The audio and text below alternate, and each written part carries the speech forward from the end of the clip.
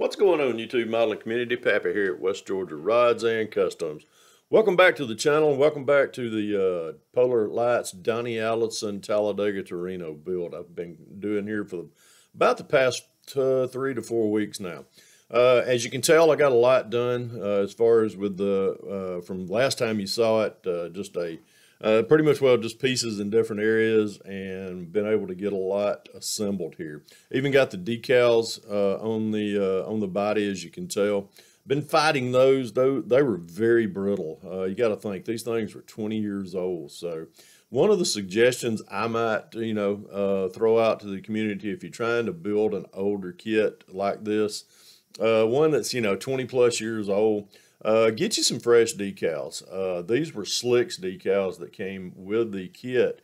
But uh, 20 years old, I would suggest getting you some fresh ones. Uh, reason being, they were very brittle. Uh, I was able to get them to release from the backing film, but I was also able to, uh, when I would start applying them, they would start tearing or part, start breaking up. So uh, probably should have invested into uh, you know some some old uh, newer decals, but uh, kind of something I would pass along is to do that. I've had a lot of help throughout the community with this build as far as uh, tips on it. Good friend Mark Baston said to uh, as far as the to be able to eliminate this this body line looking like it's you know got an upward curve to it. We showed you how I remedied that. That was very helpful. Um, good buddy uh, Brian over at BG's Models, he uh, said that the uh, take and wash, this, wash these kits very good uh, before painting or priming. Uh, reason being, they use a release agent that kind of sticks with the plastic. So uh, any body work or anything as far as you know being able to wash it very good and then get you know getting it into primer, do that. A lot of prep pays off in the long run. Uh, was able to get everything primed on the body, got it all, got it painted up with the Italian red. Uh, gonna do, got, you know, like I say, I got the decals in most of this. Let me, uh, let me just kind of flip it to the side. Everything's looking, you know, we're getting it, we're getting it there. It's been a, it's been a fun little build. Uh, plans for today is to, uh, the hood right here, we're going to get it put, uh, we're going to put some TS80 on it, which is a flat clear, which is the uh, Tamiya uh, products that I like to use. Uh, I'm going to spray the uh, the hood flat. Uh, that way it will kind of make this decal. You won't kind of see the clear film line that, you know, decals normally leave. And it kind of reduces the glare on it. You can see a pretty good amount of, good amount of glare on that hood right there, especially in the decal area. So it's the shininess of the decal. So getting some TS80 sprayed on it. Still got some detail painting back here on the uh, uh, on this cowling uh, right here along the uh, behind the windshield. It's supposed to be a flat uh, black as well, so I'll be taping that off and getting that sprayed uh, probably in the next few days.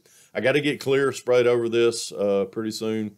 That way I can get these decals to just kind of you know bond to a little bit more bonding to the to the body itself and uh, just uh, got to get the uh, as far as the flat black across this back panel uh, where the tail lights are at, and then I'll take some uh, uh, take some aluminum bare metal foil and do the the tail lights back here. I'm gonna put a discharge tube back here at the back like it would have been originally. I'm gonna take some K&S tubing and duplicate that coming out right there. but just a lot of detail painting. I was able the got it into a rolling chassis as you can tell. I'm going to dissect this a little bit uh, right now. Uh, let's, uh, let's, let's, take the hood and set it over there. Uh, the I've been just uh, playing havoc right now. I need to actually probably put some uh, microsol over some of these decals because some of them I've just been seeing just fleek off, especially some of these uh, these sponsor decals. Uh, just I've been playing havoc. Just I look at them and they just fall off last night during the hangout with uh, Brian at Got Fuels Model Garage, uh, I had to put on the uh, dash panel up here, and I was trying to trim the dash and sand it a little bit uh, to get the dash to fit down in there. I was blowing the dust off of it, and I blew the decals completely off of it. So I may uh, uh, today I may you know put those back on there, find me some more to put in there, but but was able to uh, got got a lot done. Let me just say this. Let me keep dissecting uh, the body. Uh, we're going to pull this Uh, let's set this, let me set this out of the way so I don't lose any more decals. Uh, was able to get, uh, got all the shocks mounted on it as far as the front shocks. Uh, those are in place. Uh, started putting some interior pieces in there. Uh, I, if you can see in there, you can tell what I did with the uh, with the dash. I was able to replicate that dash pretty well.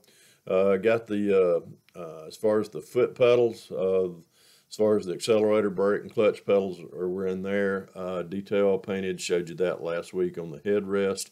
Let's flip it over. Uh, there's the underneath of it so far. Got the, uh, uh, started getting most of the uh, uh, little pieces. Uh, as far as the, the, the vents right here, got the, got the fuel tank in, everything's, everything's pretty much well coming, coming, to, coming into place right there. So flip it back over. still got a lot of detail I'm going to do as far as the seat possibly today get the seat in there, get the seat belts in it.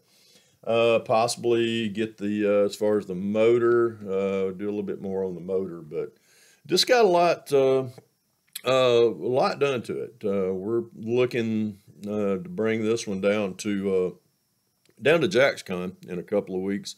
Been getting pretty excited about that. Got a lot of the builds over here on the bench that I'll be bringing down there as well. So uh, this one, uh, hopefully, if it uh, plays nicely, and keep fingers crossed, uh, it'll be making the venture down to uh, uh, JaxCon with us two weeks from actually to yesterday.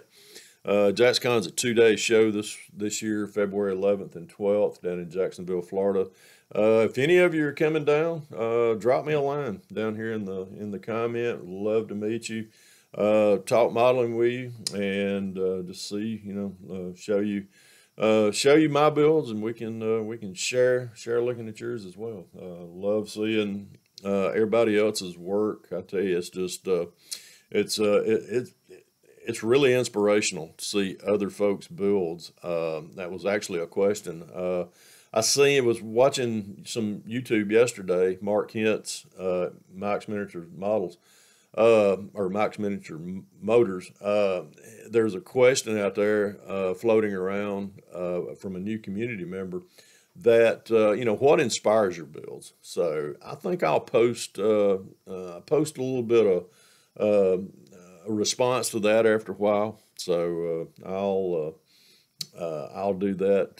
just keep kind of keep that going. But if you can, just drop you, you know, hop on hop on to, on your channels and and such, and uh, post your content. Uh, post, you know what what's what inspires you uh, as far as inspires your builds, and uh, love to hear that as well. But uh, Mike, great question, um, and uh, got the gentleman's sub that that started that started that out. Love watching everybody's content on YouTube. Anyhow. Well, that's about it on this one. Uh, going on, like I say, uh, got a lot to do today uh, on this, and appreciate all the likes, all the all the subs that I've received over the last couple weeks, folks watching this, and uh, uh, be looking for the this one to be finished here pretty soon. So, anyhow, folks, remember if you can dream it, build it. God bless y'all. Pappy out of here.